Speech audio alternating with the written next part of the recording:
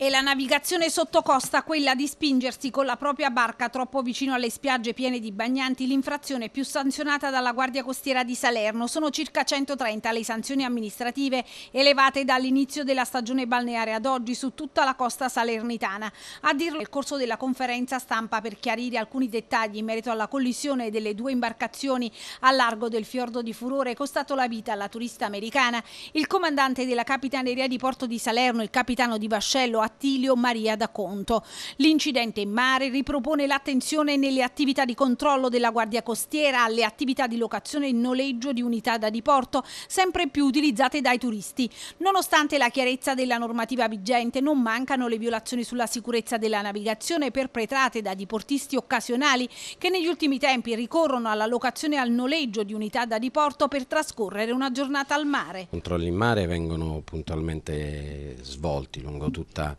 la costa salernitana.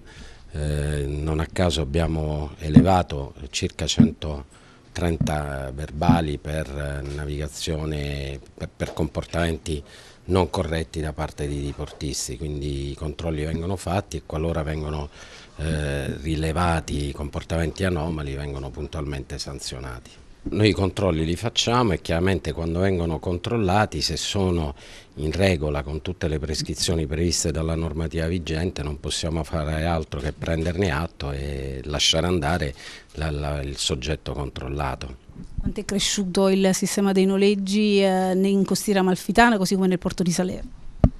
Guardi, francamente non glielo so dire anche perché io sono qui da un anno, quindi non ho eh, onestamente una una esatta cognizione di quanto sia cresciuto il fenomeno, probabilmente verosimilmente è cresciuto come è cresciuto un po' tutto il fenomeno diportistico, ma il problema